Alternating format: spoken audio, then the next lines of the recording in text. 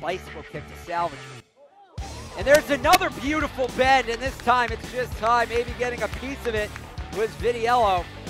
Jovanowski looking up, tap pass.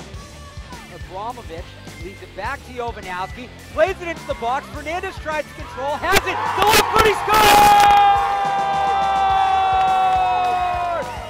Julito Fernandez, his 10th, the team high, the Riverhawks have a one to nothing lead. Nice bicycle kick. It's going to get Fernandez in space. Can he tap it in? Still loose. Goaltender on the ground. We need a follow up shot around the corner. Has to keep it in. Plays it out off of Albany. Fernandez trying to get it in front into the box. Headed across. Save made.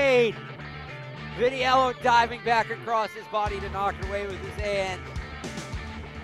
Albany into the box. Race the goal line thrown in front. Riverhawks not only keep it away, but keep it in. Top of the box, pokes through, diving up his Crowell. He makes the save.